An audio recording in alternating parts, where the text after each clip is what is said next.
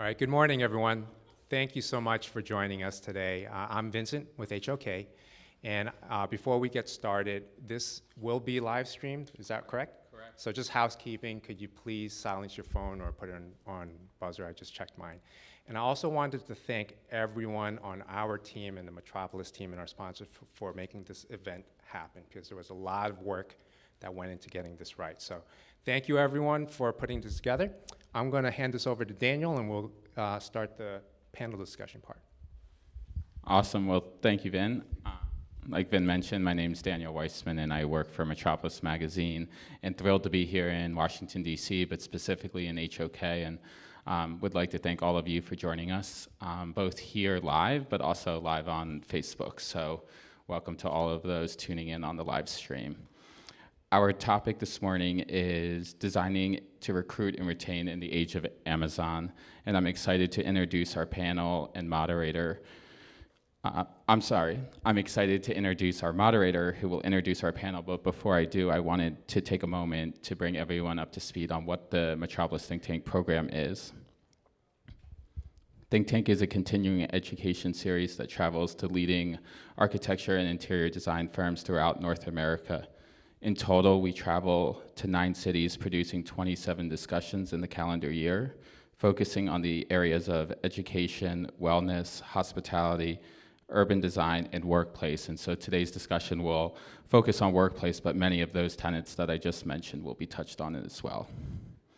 Think Tank brings together architects, designers, planners, developers, policymakers, and industry ex experts with the aim of challenging all stakeholders to examine the strengths and weaknesses of current design thinking. Together, our aim is to chart the path forward and search for human-centered design. Following today's panel discussion, we will we have left time for questions and answers, so I would encourage you to um, keep that in mind as our panel grapples with today's topic. I would also like to take a moment to thank our think tank sponsors who make this program and all of our think tank discussions possible. So with that, our Washington, D.C. sponsors are BIFMA, DuPont, DXV Grohe, and Versteel. And at the conclusion of today's discussion, I'll introduce our sponsors who are with us in the audience today. Further, on your chairs, you'll see that you have um, swag bags that has uh, information on our think tank sponsors, some things uh, that HOK provided, as well as the event program that has the bio and headshots um, and some additional information on today's discussion. I would encourage everybody to um, keep the conversation going using the hashtag ThinkTank2019, both on Twitter and Facebook. Like we mentioned, this is being live streamed. So without further ado, let me introduce our moderator for this morning's discussion, Lila Allen, Lila Allen Managing Director of Metropolis. Hi, Dan. Thanks for the introduction, and thanks to all of you for coming out in a very muggy day in DC to be here bright and early. Um, I'm very excited about this panel. I have four experts here on workplace design. Um, and in your chairs, you actually have our most recent workplace issue. Um, that's the issue that went to NeoCon, and there are some really special office projects in there, some of which I think really kind of paint the direction of the industry. So be sure to check those out because we put a lot of work into it and we're very happy with how it turned out.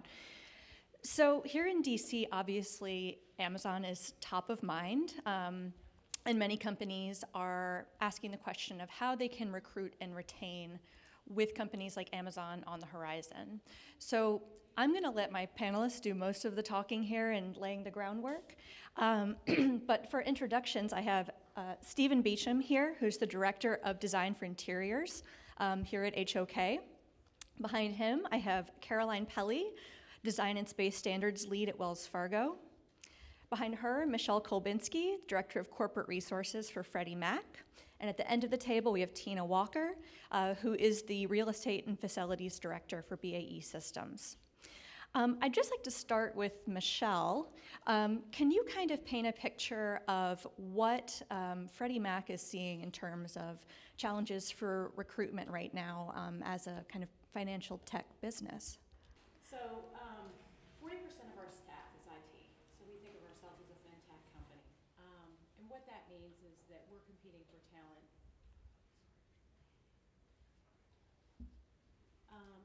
because we're competing in a market, in a highly competitive market.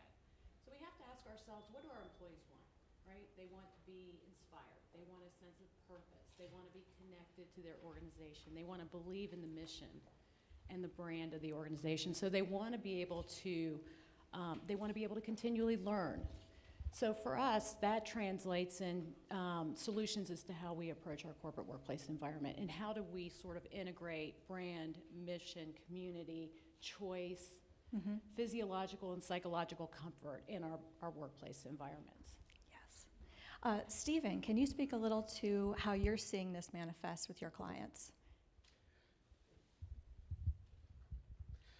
So for a lot of our clients, um, we're finding that we are in a fusion period, okay, where it's not just about one way of working or another way of working. We have multiple generations that we need to accommodate. We also have multiple working styles that we need to accommodate. Um, if you've ever heard the uh, expressions corporatality or resimercial, okay? Uh, they're, they're a little hokey, but they are kind of talking to the common trend where uh, you are creating spaces for choice. And uh, you're creating spaces for choice to attract and retain and to give people the ability to work uh, however and wherever they'd like to work. So even in our own studios, we've got people working at these high top tables here, but sometimes they'll be working at their desks, or sometimes they'll be working in these booths, or sometimes they'll be working in one of the cocoons. They've got a variety of different types of uh, options for them to work in, and that helps support a healthy environment. Right. Um, Tina, at BAE, BAE Systems, um, I know that you're dealing with a, a slightly more um, conservative atmosphere. What are some of the challenges in adopting this kind of working style? Um, well, we're, we're not adopting it. It's actually our working style today. Um, but we, you know, as far as bringing in new talent, that's, that's where the challenge is, right?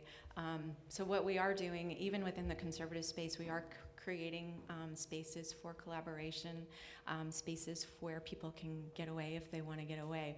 But we are um, mostly office intensive, and um, those particular spaces that, that we are looking to create will help some collision points for, for them to um, you know, find their way and also run into people for more informal collaboration. Uh, Caroline, you're working on a project now in Charlotte that certainly brings in some of these ideas. Can you give us a little background on that and how it ties in with these ideas? Yeah, great. Uh, so we've got a project right now in Charlotte with Wells Fargo um, that is a tech center for us in that market. And uh, it's it's been interesting because what we've noticed over the last two years within our organization is similar to what um, Michele was saying with the um, uh, with the um, technology recruitment, um, in particular, being a challenge. And in our Charlotte market, we Wells Fargo is definitely not known as a Wells as, as a technology company. So one of the opportunities that we have in that market is to really take this new uh, project that we've got and make it a showcase to um, kind of announce to that market that we really are uh, a tech company, that we um, are engaged and, uh, and, and innovating in that space. And we're using this project to really help bring awareness in the market to, um, to that presence, um, to the tech space um, by looking at activating our street level fronts. Um, we've got large glass areas there that are really um, uh, going to be um, actively kind of curated and programmed from an engagement perspective. We have the, the you know the game rooms and those sorts of spaces down there, and then also drop-in spaces for folks to to come in and leverage. So there should be a lot of um, engaged activity there. Um, we're also looking at um, how we can integrate our brand at the street level and really propel out and kind of uh, make it make that presence really known um, uh, there. So, uh, how to activate those spaces is really our key right now. Great. Um, going back to this idea of resi-mercial for a moment, I'm wondering um, what other sectors are you all looking to to kind of take lessons for workplace right now? Uh, Stephen, I'll start with you. So workplace environments, as I said, it's a fusion. Okay. Um, and so we look at several sectors. The hospitality sector, obviously, is um, the hospitality sector is influencing almost every every other sector of the marketplace. Whether it's uh, a healthcare environment, a research center, um, a law firm, um, a banking office, uh, just like technology is. Okay, uh, you know the the idea that a bank is a bank or a, a banking company is a technology company. These are all kind of the fuzzy lines that kind of cross in when we talk about kind of fusion. Uh, we're also looking at the education sectors. Um, in earlier discussion with the group, we were talking about how um, we're doing a, we just finished a, um, uh, science center for Penn State University. And at the same time, we were doing a major campus for GlaxoSmithKline. The same parallels of how we were planning the space were exacting themselves both in the education environment as well as in the office environment. And so the parallels are that uh, the students coming out of school are already familiar with that type of work environment. They're no longer having to be, this is how I work in school, and I'm going to totally restructure how I work because this is the construct of the corporate environment. The corporate environment is learning from the education environments, just like the corporates and corporate environments are learning from the hospitality environments. And when I say that, it's not just about the aesthetics, although the aesthetics is um, very important. We're doing a project for McKinsey in Atlanta right now where it is almost exclusively a residential type environment. Okay, and that is the key word for the client. Now, when you do a commercial space that's residential, you run into kind of, and BIFMA's here, so they know what I'm talking about. Uh, you run into issues of, well, I can't go to West Elm to buy this or that. You know, I have to think in commercial terms, in terms of flame spreads and all this other kind of stuff. So that kind of, but that's an evolutionary thing that as as we move on with design and as uh, this fusion kind of plays out, that you will see more and more type products, more and more environments, which are uh, catering to a, a variety of different type of people. Uh, Michele, I believe you also looked at education um, for inspiration with the recent we project. We did. We looked at it, and we looked at both education and hospitality. So I absolutely agree with what Stephen's saying. They're both very influential in different ways, right? So if I start off with education, it's about, and this isn't my term, this is a borrowed term, but the me in the we space. You know, and thinking about how students work together at universities and what are those environments and how do we translate those into a flexible corporate environment. From a hospitality perspective, we're looking at it from the perspective of the employee experience, the holistic. And as Caroline pointed out this morning in our dialogue, you know, from the moment you get up, where are you working? Do you, do you have a 9 a.m. meeting at the office or can you take it from home? So, really thinking about that employee experience from the start of their workday to the end of their workday, including commute, food, beverage, and then finally I would add retail because we're thinking about how does brand integrate and help communicate corporate culture, which gets back to attracting and retaining, right? Purpose, mission, values. How is that brand integrated into your workplace environment and prioritized across the spaces? Right. Uh, Tina, um, I know that this is a conversation for you all as well. Um, uh, you all are a very technology forward company. You have, a, uh, I believe, a very generous work remotely, work from home policy. Um, can you talk about how that's kind of playing into the workplace that you're developing currently? Sure. Um, so, so one of the things that, that we did um, about a year and a half ago is we actually serve, surveyed our uh, DC Metro employees to find out what was important to them in the workplace. So there was about 2,500 people surveyed um, across our, our buildings in the area. Um, number one thing was commute, if you can all imagine that, right? Um, so, so where is that office going to be located? And um, you know, so we so we really looked at that, and and what we did, we did a heat map, and we looked at you know where is the best place for us, and where do our employees currently live. So Falls Church ended up being that hot spot for us, um, although we did have um, people um, that that were really losers, right? They they needed to commute longer. Um, the other piece of that is we are no longer going to be on the metro line, um, so we have a lot of people who don't own cars. So how do we deal with that? Um, so so a lot of the things that we're we're looking at now, we're we're not moving into this space until um, mid next year. But what are what we're trying to do is really figure out um, and create a great employee experience, not only in the workspace but also getting to that workspace.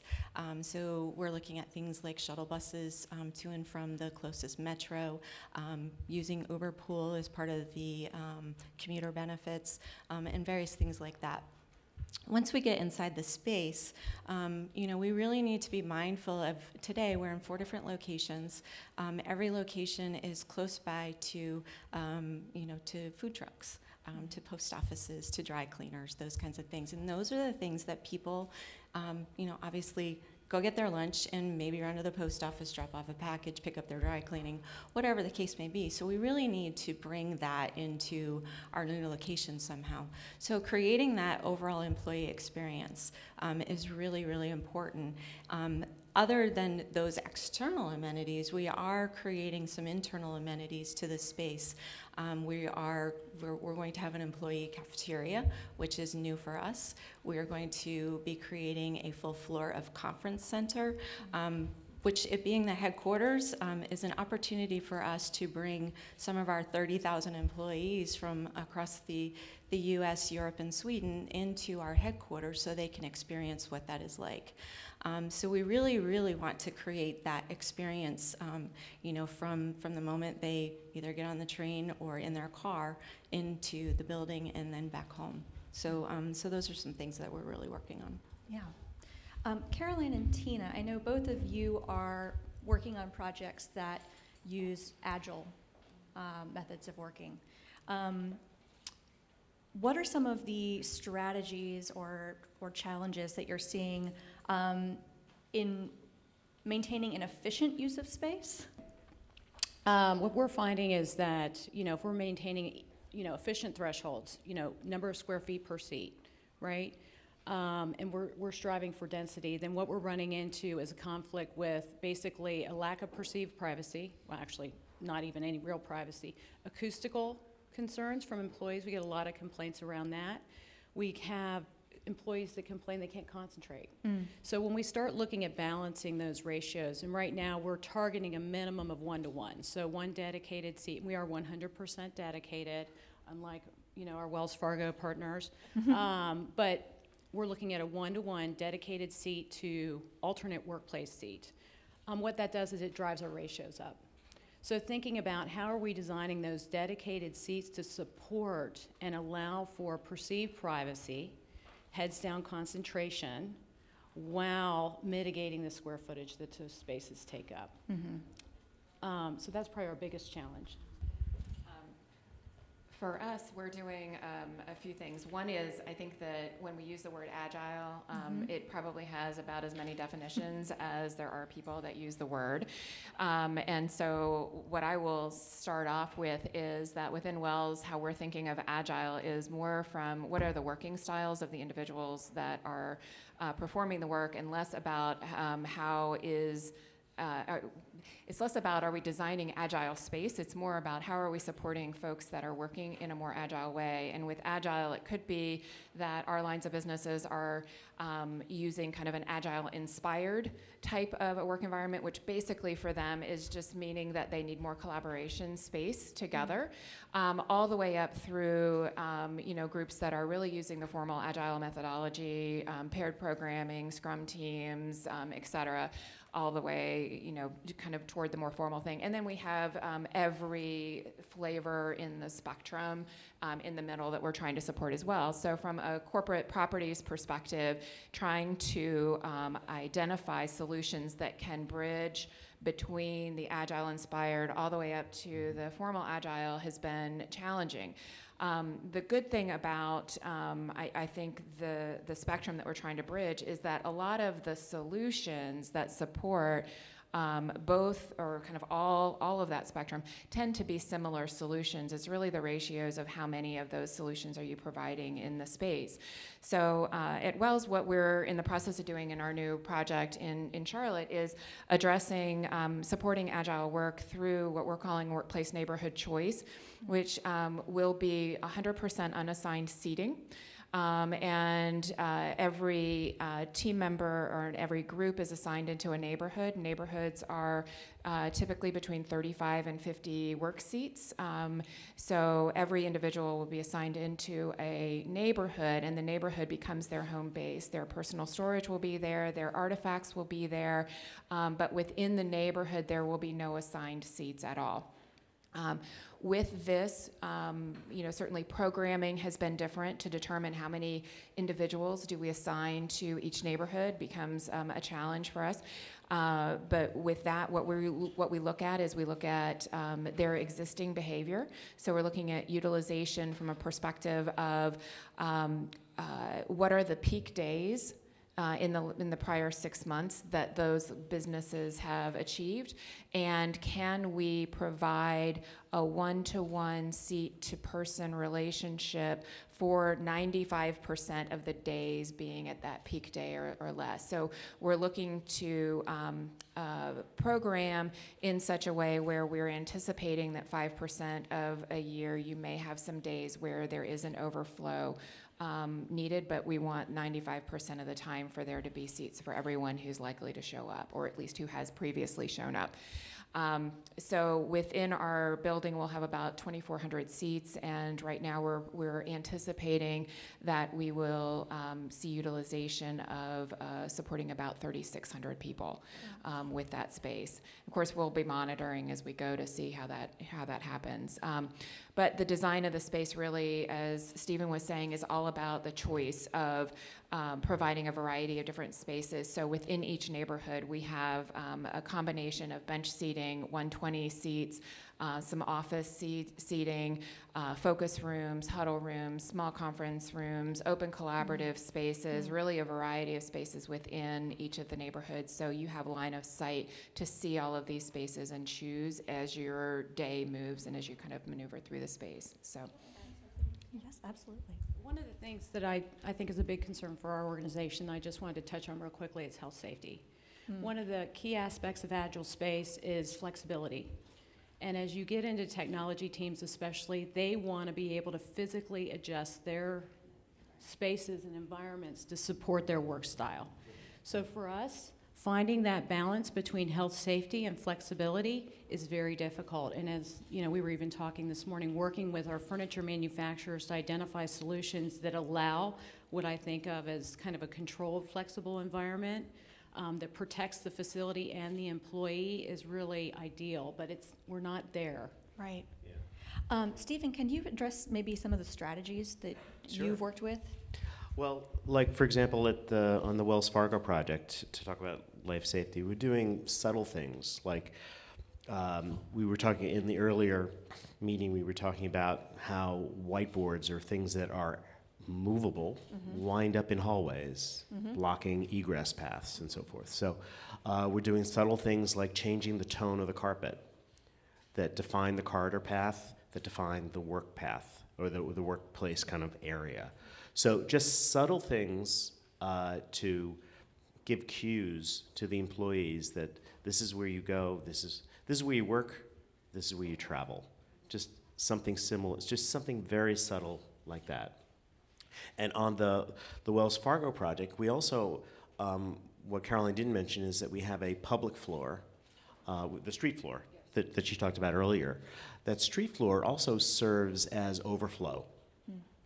Okay, when the pods get too busy one day, you can work down in the forum, or you can work in the game room, and so, or you can work in the uh, the temp, right? the workshop. So mm-hmm. there are different spaces, even on other floors, that you can go to. What what I really like about what they're doing at the Wells Fargo uh, on the Wells Fargo project is by creating these neighborhoods, you're creating your sense of place. And one of the things we were talking earlier about is how do you make, um, in agile working, how do you make your space a home? How do you make it feel personal? Um, you've got a floor that's got 350 seats on it. Theoretically, in agile working, all your stuff goes in a locker and it doesn't sit on your desk, so all your tchotchkes and whatnot don't happen. In the neighborhood concept, because you're breaking down the construct into a smaller, more manageable um, number, and we're also giving the groups the opportunity to customize their space, to make it their own, to make it feel like this is their neighborhood. Right. Okay? And all of that kind of leads to the ability of this is where I want to be, this is where I belong, this is my home. And it's not just an impersonal, here's my desk. Right. Um, Tina, I'm wondering if you can talk some. I, I believe that you are technically, you report to HR at your job. How do these working styles work hand in hand with human resources? What's the give and take with design and developing policies that work with that design? So, um, so going back to 2014, um, we, we did a, a building consolidation and uh, we moved our HR organization from a full office intensive environment to a totally open plan. Um, so everybody from um, you know an analyst to a vice president was sitting in is now sitting in an open um, seven by seven workstation.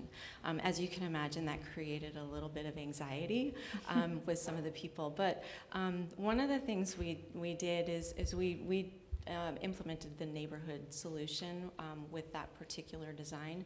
Um, and, and that really helped. Um, we also put in place um, a, a work from home policy. Uh, so for people um, who just needed more privacy. Um, they had the ability to work from home.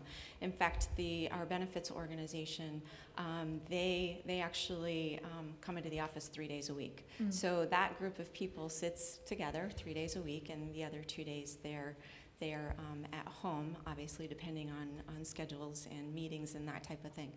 Um, so, so the policies that were put in place by HR were really to, um, you know, to benefit the employee and make sure that they had the primary, the working conditions that they needed to support the work that they were doing.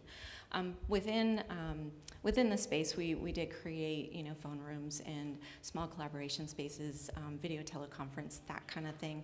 Um, so on the video teleconference thing, you know, you can pull in those people that are working from home if they need to be um, seen in, in, in a meeting. So, um, so those policies um, were really really started by the HR group because of their working condition, um, and and it's it's actually held, and and that's actually one of the tools um, that we use to recruit employees. That flexibility is so important.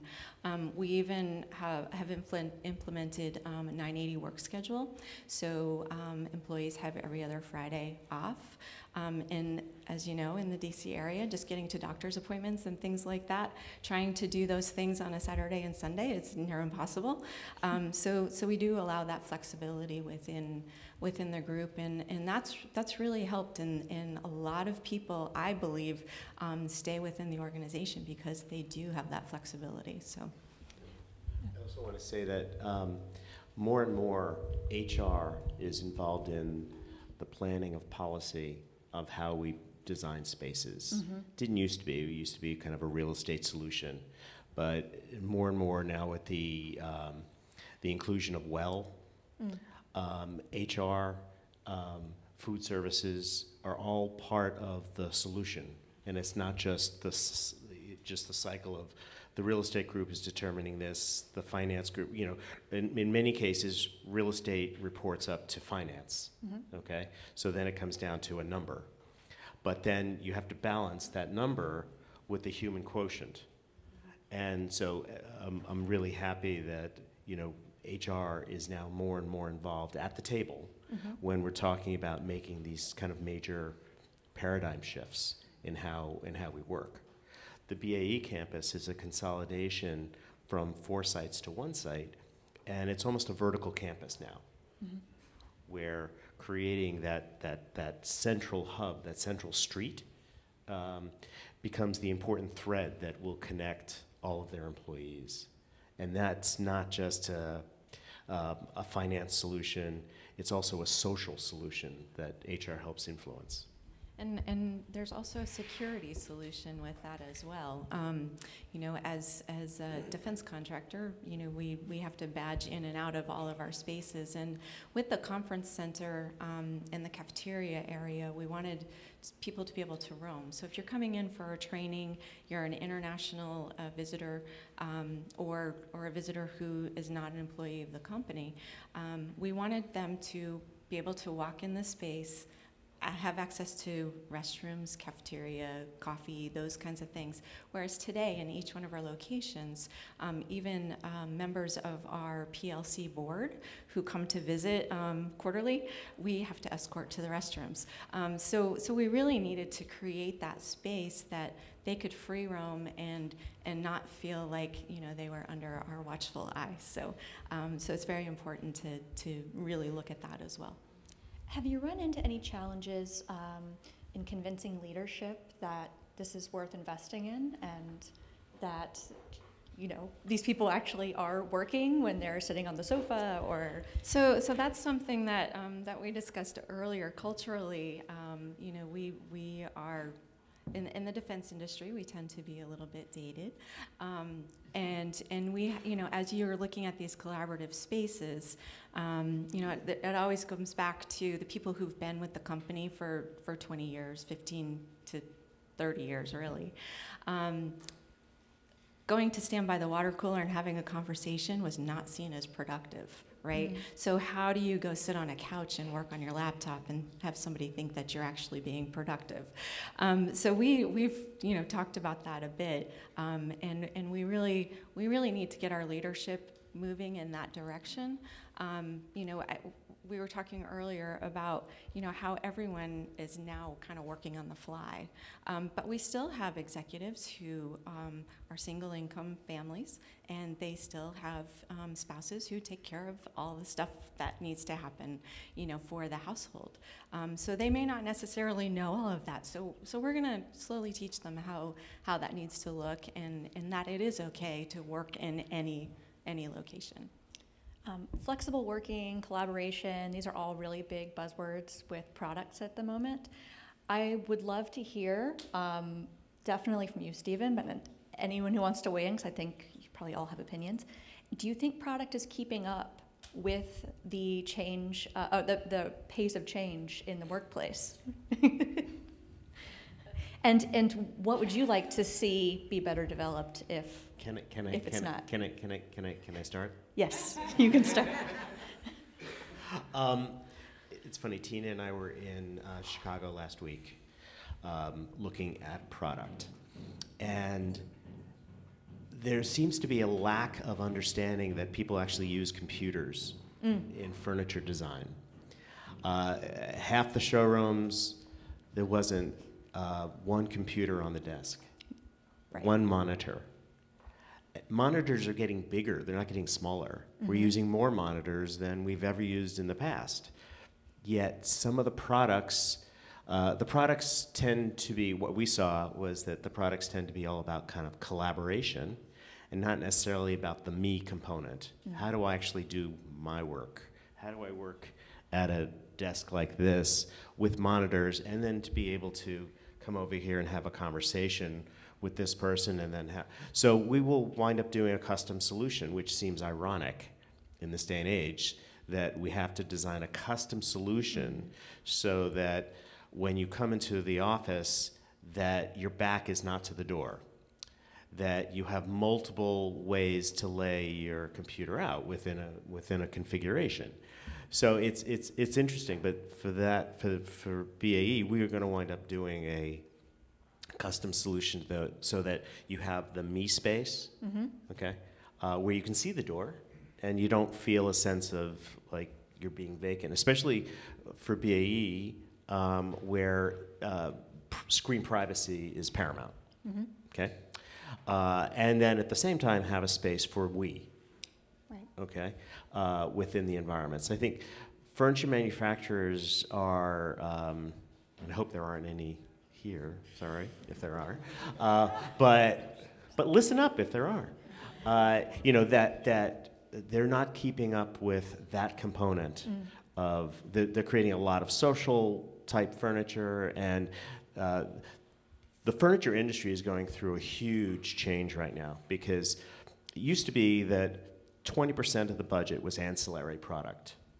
Now it's closer to 60%. Okay? And the single line manufacturers, the Herman Millers, the Steelcases, the Knolls, are having to retool themselves. So, uh, which is why you're seeing so much emphasis on partnering you know, and uh, you know, Knoll buys Muuto, and uh, Coalesse has become such a huge component at um, Steelcase, and so and you know, Haworth has Haworth Pro, um, Solutions, okay, you know, Poltrona Frau. So all of the companies are trying to catch up with the fact that the workplace environment and the way that we work is so different from the way that the traditional manufacturers have been set up for years. Right. Um, I would love to talk too about how you prioritize a spend on a project. Um, Caroline, would you like to kind of address what, you know, what you think is worth investing in for specifically for recruiting and retaining talent, Yeah. and um, where you're kind of willing to kind of maybe skimp a little bit? Yeah. where, where were we? Where we VE? out, Yes. Yeah. yeah. Um, yeah. So for us, um, I think that we have successfully made the argument now that we've got to invest in the um, in the we space.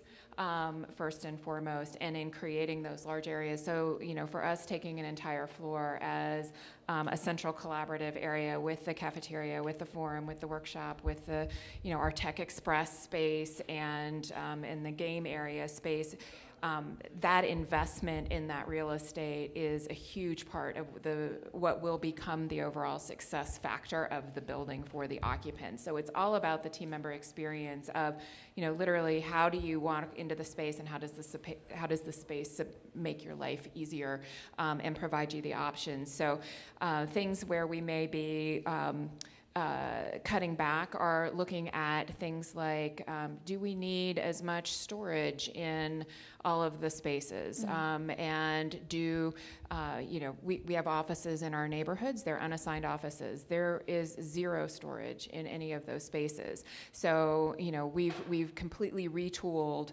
how we're providing and what we're providing in the way of space to support how we want the, the folks to um, act.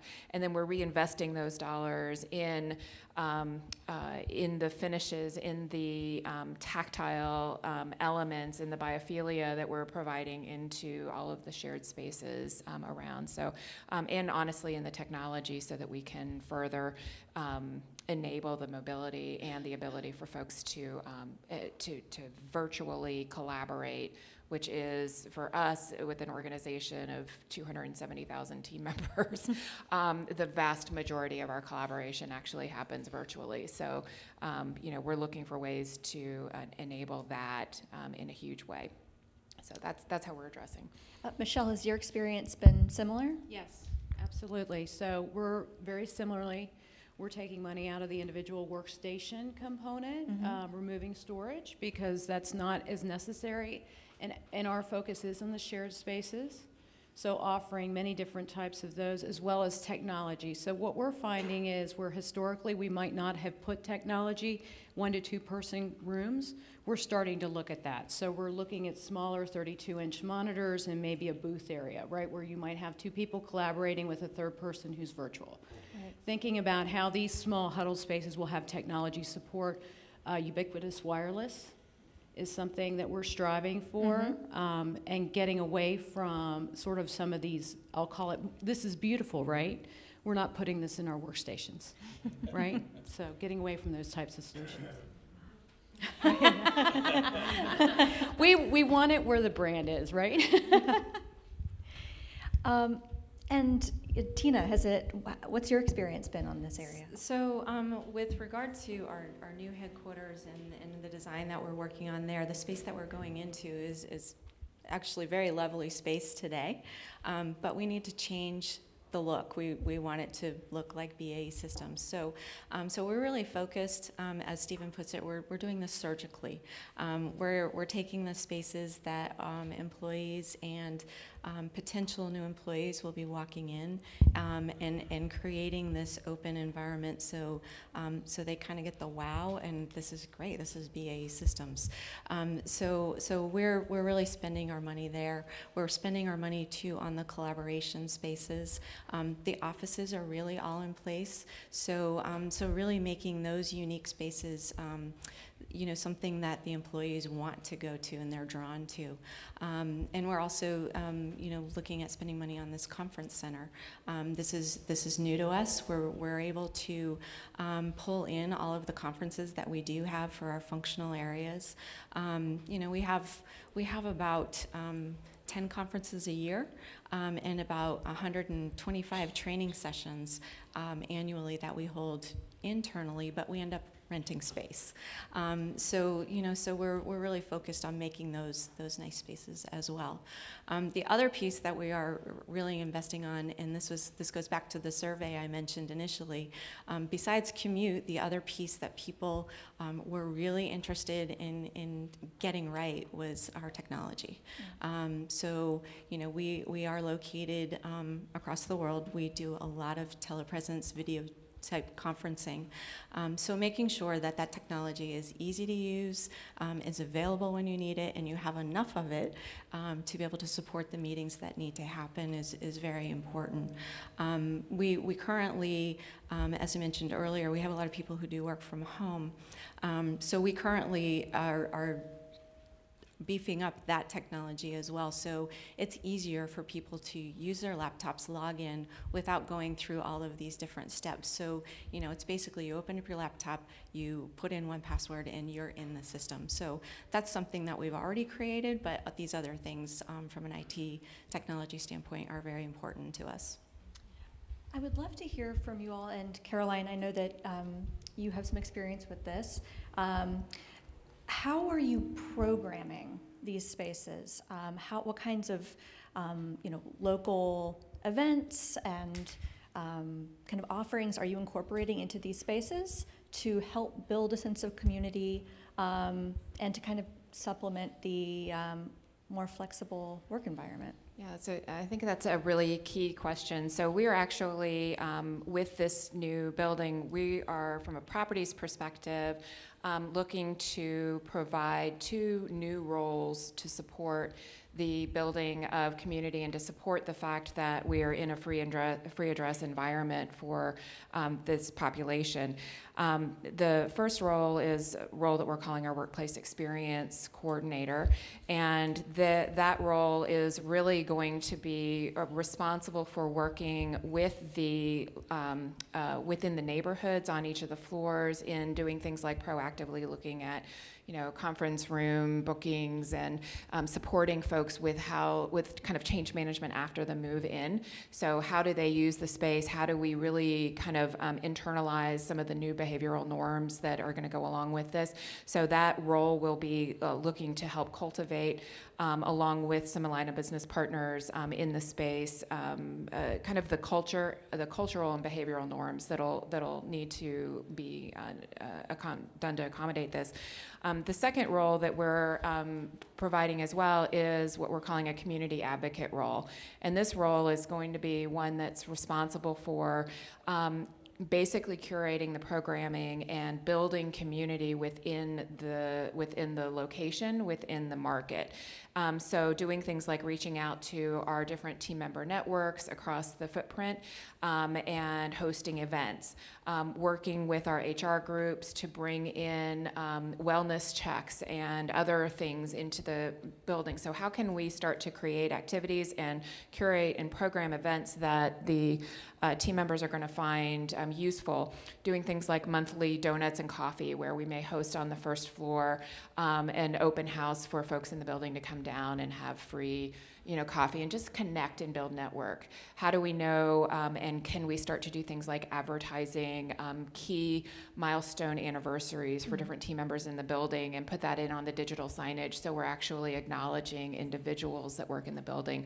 when they come into the space. So how do we think about really providing the environment for our team members to feel as if they belong, as if they have a sense of community, and as if they are part of uh, the Wells Fargo um, culture um, and that they're supported. So, Uh, Stephen, it, are the architects a part of that conversation at all? Oh yeah, we're, we're part of the conversation from the beginning. So those, and, and, and our influence on that is helping to, once we've kind of heard the abstracts, how do we help create the environments that support that? Okay? Um, and what the construct might be going in may not be the construct when we're done. Okay? Meaning that they may think, well, maybe we need these, these types of rooms. You know, the, the program might be I need, uh, for 100 people, I need uh, 100 spaces to support these people in huddle type focus rooms or things like that. But maybe not. Maybe okay. So that's that's where we have the dialogue to understand. Maybe there are new ways to be working. You know, involving our consulting group, uh, who are also always looking at the forefront of new ways of of working, new working patterns um, how we can help influence that. What type of new furniture solutions are there out there that can create virtual rooms? You know, in the back area, we've got these kind of three-sided uh, sofas or chairs that create uh, a virtual room.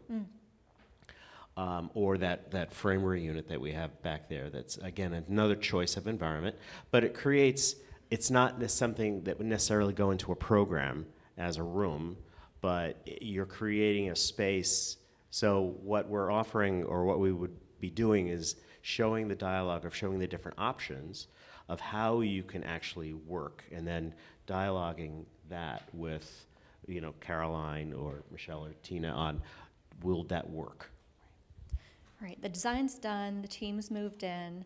How are you all evaluating success in these environments? Um, Michele, would you like to, to start? Sure. Um, Pre and post occupancy surveys. Mm-hmm. So we're doing a, a pre-occupancy survey. We've s- recently surveyed the entire workforce, and you know, circling back to the programming question um, and your comment about ratios, you know, looking at what the right ratios are of collaborative spaces. So taking that survey, which was a combination of, you know, your your experience in your role as a professional working for an organization versus how effective is your workplace environment in supporting that role taking that feedback, translating it into, okay, we know we need an industry standard a one-to-one ratio, dedicated seat to alternate workplace, but working with the professionals in the world, the field, like the A&E team to define what is the ratio of type of spaces in that alternate workplace environment. So going back to heads down individual telephone rooms, two-person, four-person, six-person conference rooms, recovery spaces, mm-hmm. you know, those sorts of amenities. So when we look at the post-occupancy, we typically are doing that, this is not anything new to most people, we're doing that four to six months after occupancy. Mm-hmm. And we're also speaking ongoing with HR and management to better understand the individual ongoing feedback that they're providing to them. So in some cases, we'll even do focus groups, so. One of the things that we're actually doing as well, in addition to the pre and post surveys, um, is we're starting to um, look at ethnography um, within the folks. So, uh, actually, our team is going in a couple weeks, and we're uh, all being trained on how to. Um, uh, conduct interviews and do observation and then analyze that information in a qualitative way um, back so that we can start to inform decisions. So it's actually sitting down with the individuals using the space, um, how to how to effectively interview them, how to observe them in their um, in their location. Um, and identify the enablers and the disablers for how they can effectively do their work. So the ethnography piece is a big part of what we're starting to introduce as well and start to explore to see how it can inform um, the success of the, um, of the solutions and, um, and where we can continue to look to evolve. Right. Tina, same with you? On, on schedule and on budget. Um, no, I, I, I think for us, um, so I, I mentioned that we're consolidating these four locations, and we we have about 320. It'll, probably be around 350 people that will be moving into the space. Um, I I have the um, opportunity to talk to basically every one of those people, and um, we we did uh, initially back in December. We met with about 150 of those people to find out um, not only the programming aspect, so how many seats do you need, um, but what they wanted to see in the environment um, and what they liked about their current workplace and what they disliked about it. Um, so, so I think as we as we tick off those things that they said, um, and and for me the big thing will be, um, you know, the buzz in the space. Um, and and the, the feedback that we get on on whether or not we kind of hit the mark. Um, I think that we will we will see it, the, the use of the conference center, um, I think, will be a huge, huge opportunity for us. And, and so, for me, from a, uh, an operational standpoint, um, you know, really making that right and, and having people coming back, um, you know, two, three, four times just just to experience that and continue to experience it, I think will be uh, kind of where we, we hit the mark. Well, um, I got the wrap it up signal from Daniel. Um, so this will be my last question. We're going to transition into audience Q&A. So if y'all want to start thinking about questions you might want to ask of the panel, um, please do. Um, I just would love to ask a question to all four of you, which is, what are you most excited to kind of see the trajectory of over the next five years? Be it an element of a project you're working on, a trend, uh, a new kind of product potentially being developed. Um, Tina, I'd love to start with you. Um, I, I'm I'm excited about you know the the mobility piece, mm. um, and and how people are going to continue to be more more mobile, more agile um, in the work that we do, um, and how that's going to allow us to uh, create more products, um, better products, um, products that we're currently using, and make them more efficient. And and and I just I just think that you know as we um, become more agile, we'll be able to, to put better products out there. And I think that's really important for our company and, and for our military. Yeah. Michele, what about you? Um, I would say flexibility.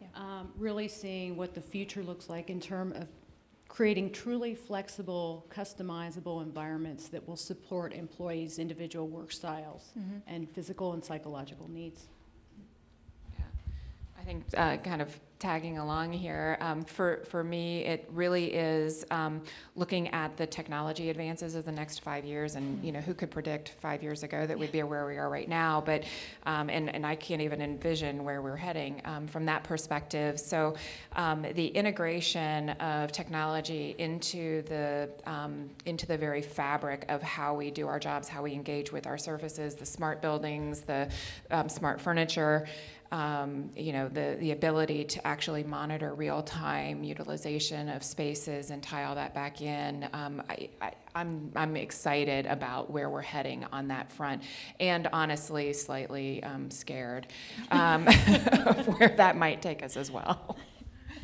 And Stephen? Uh, to me, I, I am excited at all three of the different groups because as, as an architect, our basic role is as problem solver. Right. Okay, hearing um, what is not really being said, but is being kind of um, what is not being said is just as important to me, uh, and understanding how, as a problem solver, we can create and help support architecturally, because architecture is only a component mm. of a full environment. Right. As we said, it involves technology, it involves HR, okay? Uh, and uh, our component of it which becomes more holistic because we are not just this is what we do, this is what you do. Right. Okay, we're kind of uh, kind of the we bring it all. Hopefully, we can bring it all together to make uh, Wells Fargo solution Wells Fargo solution.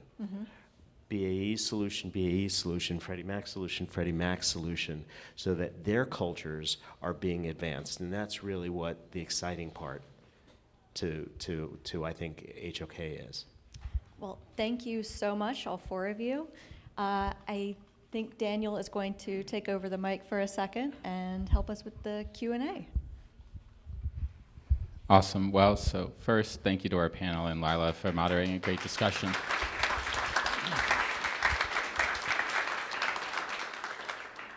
So, like uh, it's been mentioned, we do have time for questions, questions and answers. Um, the only thing I would ask is that you wait to have the microphone so that the folks tuning in live can uh, hear the question as, as well as our panelists. So, with that, um, questions? Hello. Uh, I would like to ask you what you think about um, territoriality. I teach college students, and they sit in the same seat every semester, not even just every class. Um, so, how do you deal with territoriality when you're trying to have this agile environment? Is that because they're creatures of habit? People are creatures. People are creatures of habit, most certainly. It's n- They have comfort in a specific location. oh sure. So, won't you have people that park?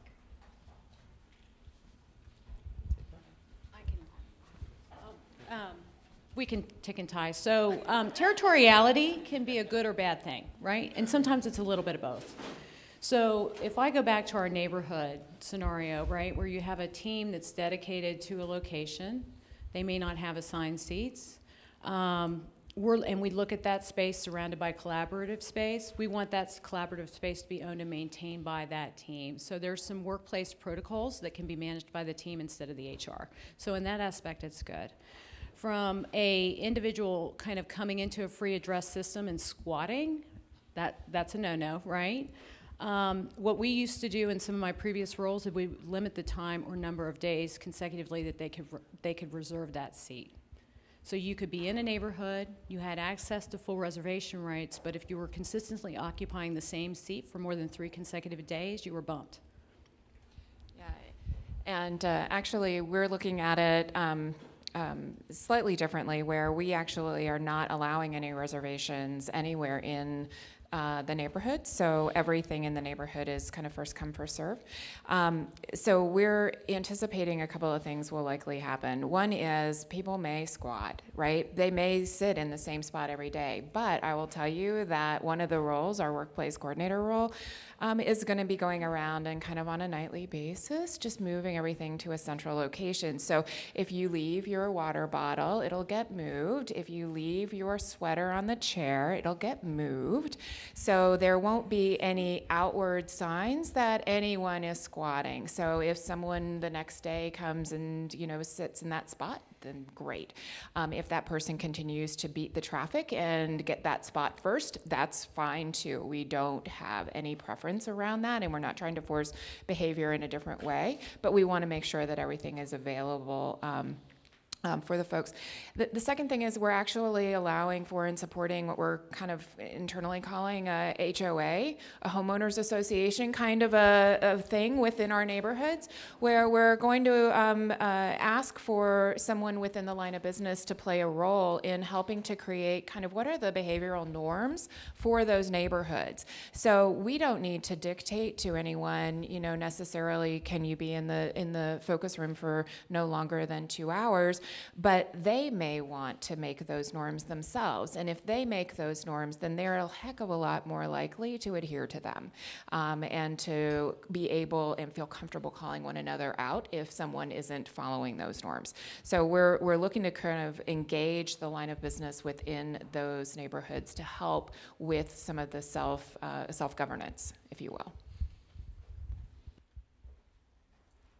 Thank you. Um, uh, first and foremost, I want to thank you guys for putting this panel together and really positioning ourselves as thought leaders on this conversation. As a millennial myself, I know the impact of workplace spaces. And so in about six years, Deloitte projects that we will comprise 75% of the workforce. So I think this conversation is hugely important. Um, so since this conversation is centered around the age of Amazon, um, Amazon's success as a company is largely attributed to their user-centric research, um, gathering insights on behaviors, relevant um, preferences, pain points.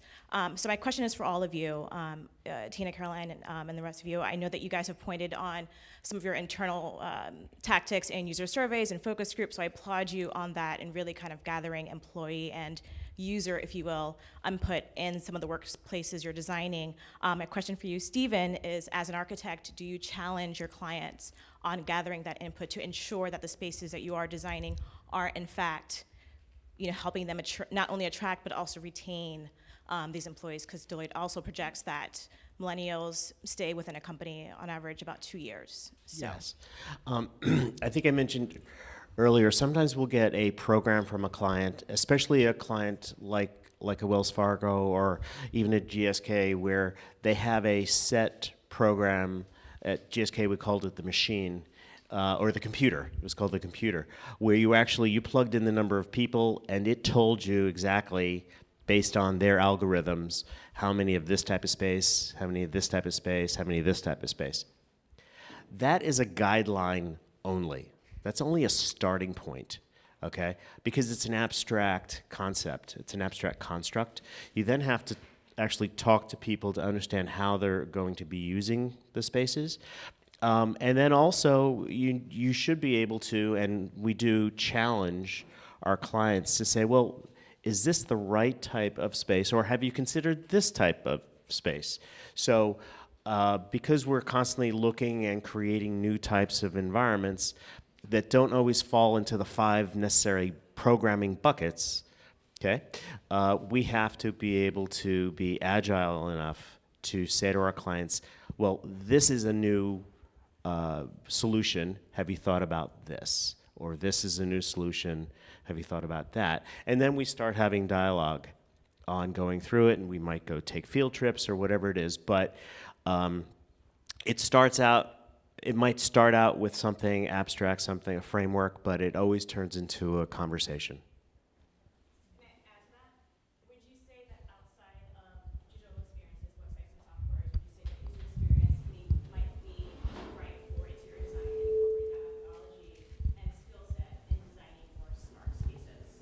Oh, most certainly. Yeah, but can you compete the, repeat the question for? Uh, yeah. Yeah, uh, can you just repeat it? Yeah. Yeah, if you could say it again. Oh, sure. I was asking, would you say that um, user experience is kind of leading the innovations in softwares and websites and uh, mobile applications? Would you say that interior design is probably the next industry to really kind of jump on that momentum and really leverage what user experience is and how that really creates uh, spaces or solutions that are successful? Well, I think we're already there. Yeah. Okay. I mean, uh, we are not designing just environments. We are designing user experiences. Okay. And as I, I was as I was saying, it's not just about kind of the physical environment, but what are the technologies that are being brought in?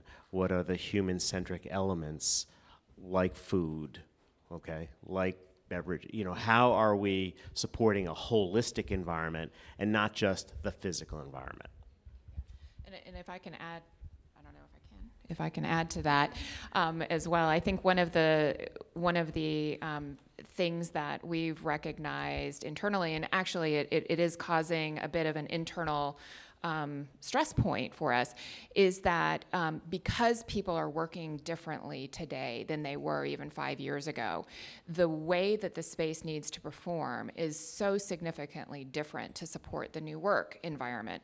Um, that you know if you are doing um, any realm of agile work as your primary force, you have visual elements that are plastered on walls that need to move with you as you move throughout the space that you need to have visual access to. You need artifacts and elements that you can see that are work, right? And those are not the pretty um, curated, lovely bookshelves or, um, or elements that we can plan, right? We want to empower our team members to actually um, embody and embrace the space as a diff- as a new tool, as a tool for what they need to do. And what they need to do is visual, and it may be really messy.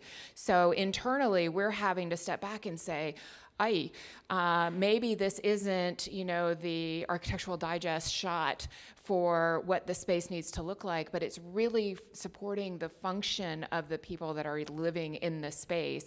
And that may not always be the prettiest, um, most aesthetically pleasing um, uh, result. So, But if it's done in a controlled manner. so, so for example, uh, on, on, on the project, we've got um, these scrum spaces, okay? Which, right? Right? Scrum spaces are going to be messy. No question about it. But we've confined them within an area to say, here, you're going to be messy, be messy here. And we also have brought the whiteboard rails out into the space so they can take the whiteboards from the scrum rooms back into their space and put them on the wall where they actually can see it as well. So it's it's how do we balance Yes. We have to balance. how do we balance It's a our conversation.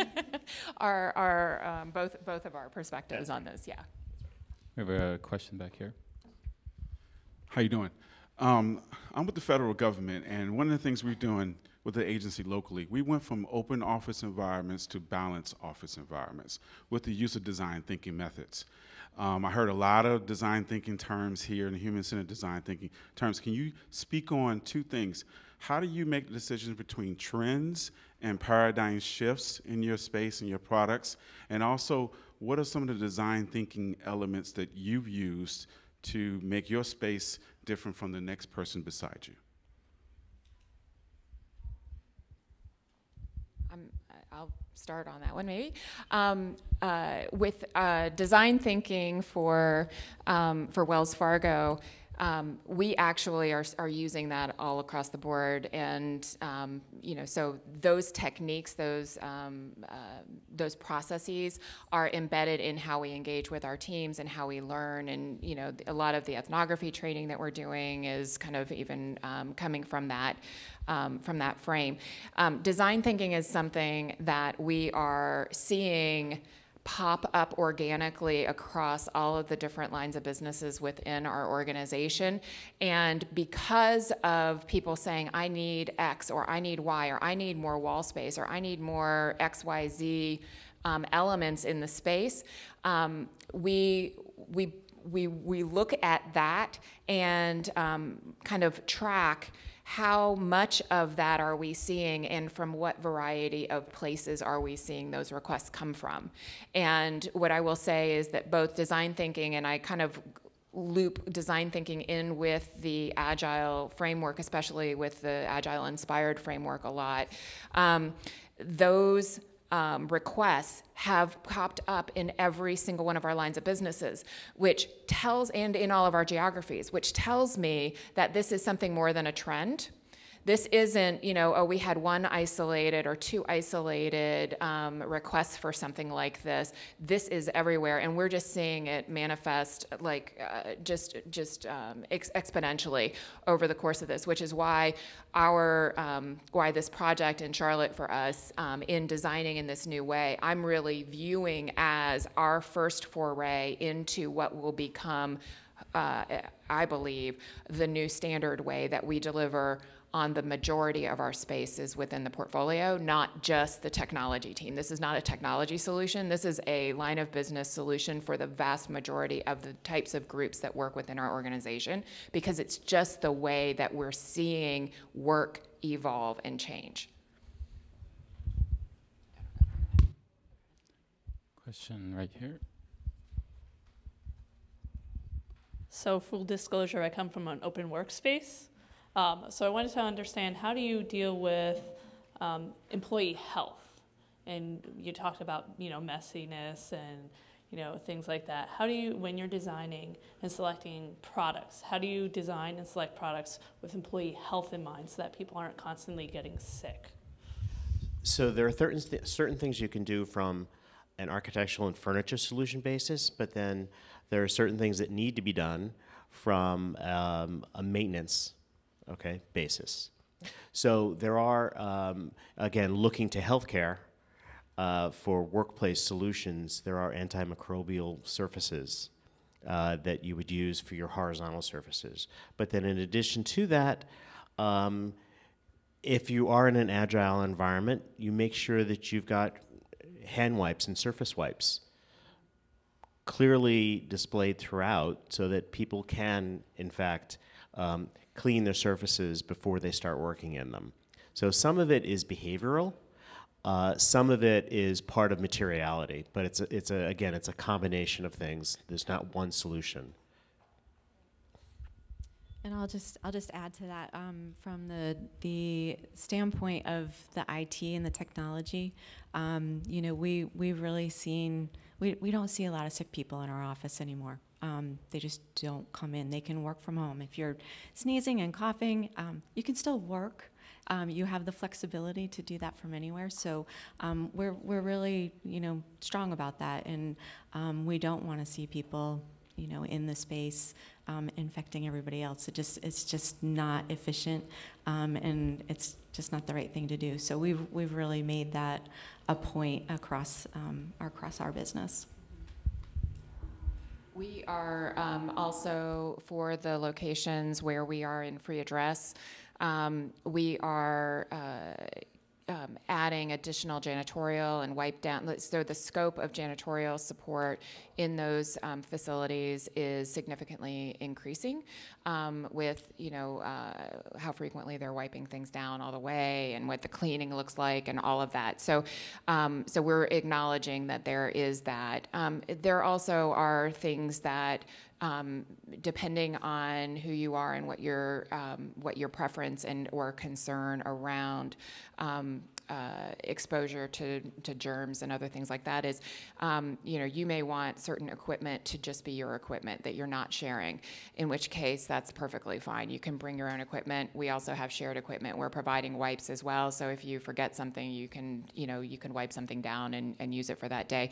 Um, certainly all headsets are going to be personal, right? You're not, you know, nobody's going to share a headset. Um, uh, you know, things like, things like that. So we're providing a lot of um, choice for individuals. They can bring their keyboard keyboards if they want, or there's going to be a keyboard there on the on the desk if they're comfortable with that as well um, that they can use. So those are just uh, some of the things. And then you know. It, at this with this day and age, it kind of goes without saying that um, uh, our our buildings are all very highly sustainable. We're all LEED certified, and we're also employing many of the um, guidance that the well building um, uh, groups are, are suggesting as well. So, from an acoustic, from a light, from a view, from biophilia, from health and well being, those are kind of just now integrated air, water, it's all integrated into the space. So, we're really, uh, we, we place a high degree of value on ensuring that our buildings are as healthy as they can be for our team members. So you mentioned uh, hospitality as one of the sectors that you look at for inspiration. Uh, could you share a little bit more about like as you enter like building hospitality building, what are you trying to see, and what's your um, some takeaways that you learned out of that sector? So, you know, understanding what the core of hospitality is, which is kind of escapism, and providing in a type of environment um, that you don't necessarily have in your normal everyday environment. So, uh, this project that we're doing for McKinsey in um, Atlanta, for example, uh, the lighting that is in the reception lobby is what you might find in a hotel lobby.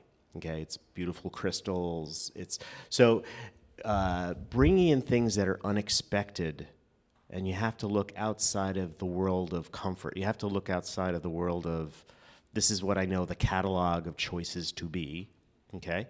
Um, or you have to create something that is truly bespoke for that. And that's what hospitality is. Hospitality is not poking, you know, corporate, corporate work tends to be very catalog based, okay? We've got these five solutions, let's choose one. Hospitality is very bespoke based. It's very customized. It's very unique to the environment. Uh, sometimes it's themey, sometimes it's not. Depends on what what you're doing. So you have to kind of let your guard down and open yourselves up to the ideas that you have to look that you to really really create a unique environment. You have to look beyond the world of the normal. And and that's where hospitality comes in because once you've storyboarded what the the construct is for the theme, then it's just a matter of how you how you achieve it. I, think the one other thing that I would add um, is that um, hospitality for us not only is the space, but it's so much about the service. Um, and it's the, you know, how do people feel and how do they engage with everything from the first point of entry in the space um, you know, how are they greeted by the security? How does that process work? All the way through, you know, if you're a visitor in the space, what what is the experience that you're going to encounter as you navigate your way back into the spaces that you're here or find the person that you're looking for? The service is a huge, huge part of that, and and really looking at what is the kind of user journey of moving through their day what does that look like is um, is a big part in making sure that you have the right people that are um, in the right positions to engage and interact with people at those key at those key points is, is a big piece as well. So and that's where collaboration comes in, and that's where you know having these types of dialogues, because uh, if, if we created solutions without our clients, they would be vacant okay?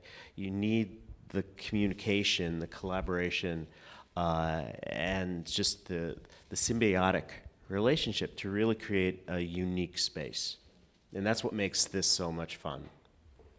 So we only have time for one more question, but um, like I mentioned in the beginning of, of the discussion, we'll have about an hour to continue the conversation. So with that, I think there's a question in the middle here. Hello.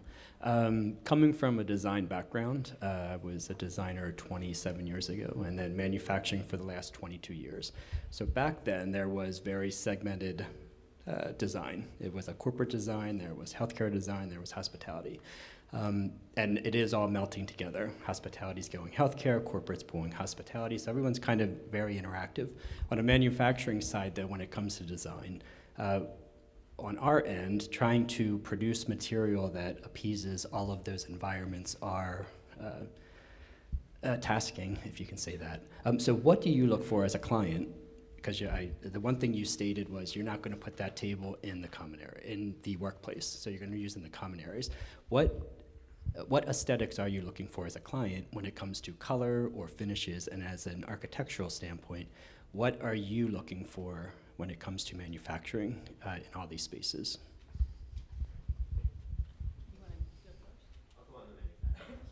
Okay. Um, on the manufacturing side, um, I'm looking for products that help solve a problem. Okay, and as I mentioned earlier, with the furniture solutions, I'm not necessarily finding some of those solutions, so we will wind up having to create those solutions. But um, what I like working with manufacturers, uh, when, when I'm working with a manufacturer on a product, this is where, again, it becomes this collaborative type of, of element where um, you create something that neither one of you would be creating on your own. I'll give you another example where we're doing something, um, we're doing an airport in New York right now. And we've got this huge arch that is eternally illuminated, and it is, uh, you know, it's 50 feet wide by 12 feet high, and it's held up on two points. And so, you know, we designed and detailed it out of glass and steel and made it look like a building, all right? Too big. So we went to the hospitality world, to actually the entertainment world, okay, to a fabricator who makes casino um, parts for casinos. And they looked at it and said, sure, we can do this. And they whipped up some sketches, and then all of a sudden, boom, it was done. It was so easy. But the point was, we had to look outside of our normal world. We had to look at the entertainment world to create something that's going in an airport. And I think that's, as designers, we need to be able to kind of look outside of our normal resources to uh, whatever is the right resource for the product to give us the right solution. I would add on that, you know, today the style of work is changing so rapidly, and often we're implementing environments that we haven't tested. And we're looking to our manufacturing partners to help us test those solutions. And I kind of go back to form follows function. So if we think about agile workplace, which the word says it all, really flexibility, mobility, high tech, touch screens, communication, integration, and, and connectivity, um, we need product solutions that enable that, that have been fully tested and shown to be successful over time. We want to future-proof our workplace environments because we can't afford to buy a product today that is no longer relevant three years from now. We're still paying for it.